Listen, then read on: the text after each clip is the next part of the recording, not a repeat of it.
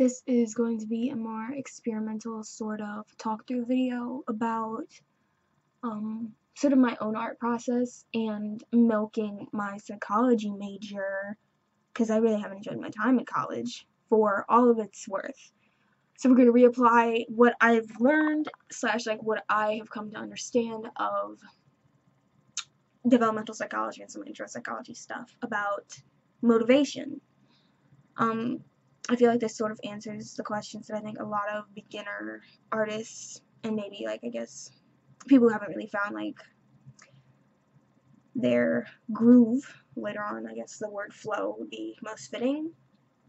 But intrinsic motivation in art I think is really important because I think it prevents in my mind the event of you ever encountering art block because I low key don't really believe in art block if you're actually creating stuff for the right reasons.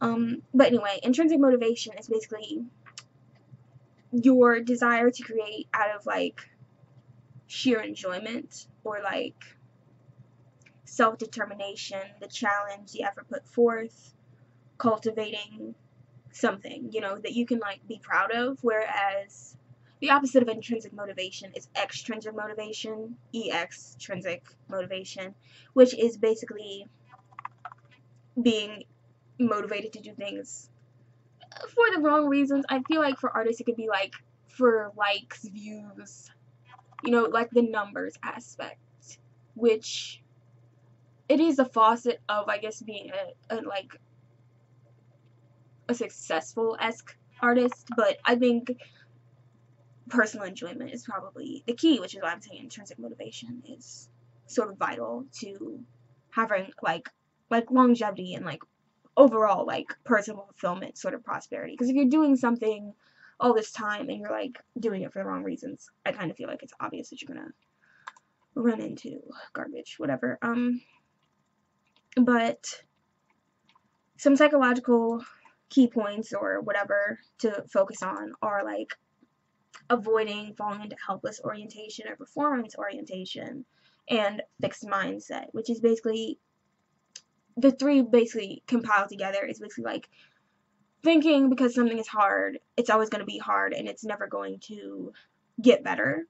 And then with performance orientation, it's like focusing on winning rather than like achievement. Like I said, goes back to like personal fulfillment. And then fixed mindset, once again, kind of ties into helpless orientation. Thinking that you're stuck and nothing's ever going to change, nothing's ever going to get better.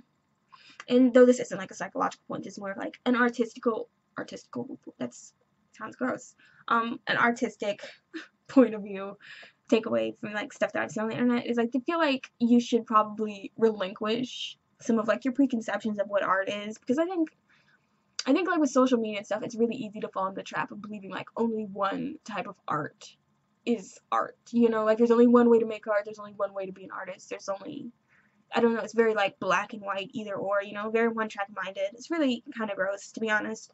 But like with that mindset, you're shutting off doors and like like opportunities to like be creative and possibly for originality, in my opinion.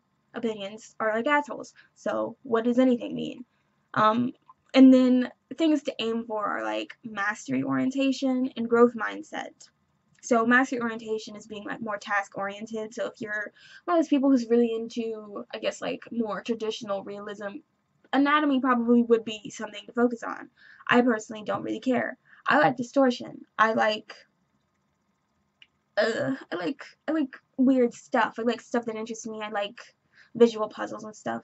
And I think that is reflected in my artwork. So, you know, focus on concentrating on like your strategies and your process of achievement rather than the outcome. And within this, you can like, but for self for self-taught you, oh my god, what is this? What is this accent? What am I doing? for like, regardless of being like self-taught or not, it's sort of like within this era, you can really develop your own sense of discipline for your art and then like growth mindset is basically, you know, it seems pretty fucking obvious. Psychology is really a no shit science. It really is. It really, really is.